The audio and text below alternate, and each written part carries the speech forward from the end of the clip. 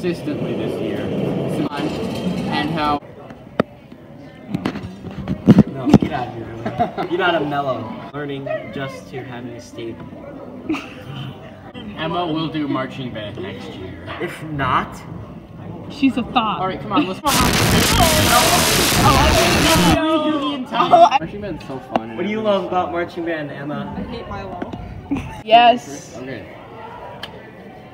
Go!